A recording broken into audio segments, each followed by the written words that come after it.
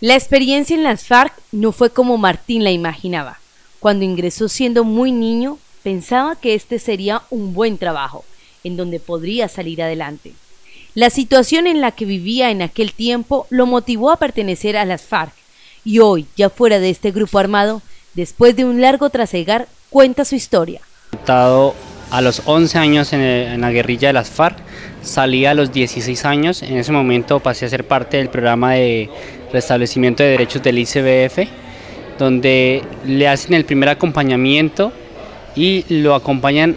hasta que cumple sus 18 años. En ese momento ya pasa al proceso de la ACR, la Agencia Colombiana para la Reintegración, donde se hace el programa como tal de reintegración.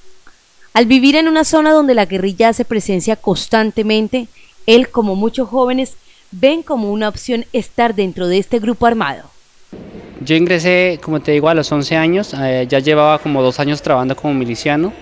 Eh, yo vengo de una zona donde toda la vida la guerrilla eh, hizo presencia, o sea que la guerrilla siempre fueron para nosotros los vecinos, las personas que nos apoyaban y pues obviamente vimos como una opción.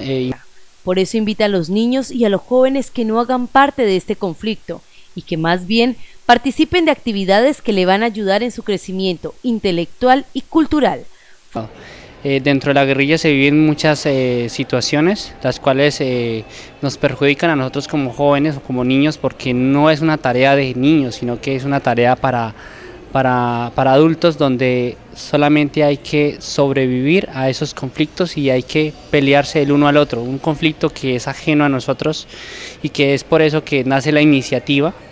de que hoy se trabaje por la prevención al reclutamiento armado, para que esos jóvenes que todavía tienen oportunidad de poder hacer una actividad diferente que no sea la guerra, unas actividades que los vinculen a actos culturales donde ellos puedan de pronto eh, pues continuar en sus colegios, eh, eh, vincularse en obras teatrales, en aprender a, a tocar instrumentos musicales, donde puedan cantar, donde puedan hacer cosas que son de niños realmente. Este testimonio Martín lo entregó durante el lanzamiento del programa Mambruno va a la guerra, con el objetivo que los jóvenes entiendan que esto no es un cuento, que esto les puede pasar a muchas personas.